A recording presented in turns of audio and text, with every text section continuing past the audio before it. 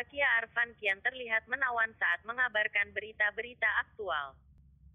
Lebaran Idul Fitri di ibu kota masih menunggu arahan pemerintah pusat. Keputusan ini termasuk pemberlakuan surat izin keluar masuk atau SIKM selama larangan mudik pada 6 hingga 17 Mei mendatang.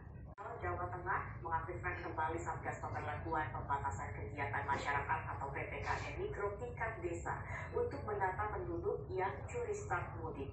Biasanya pemudik ini berasal dari Jabodetabek ada satu tempat yang selalu ramai dikunjungi warga, terutama anak muda di setiap bulan puasa.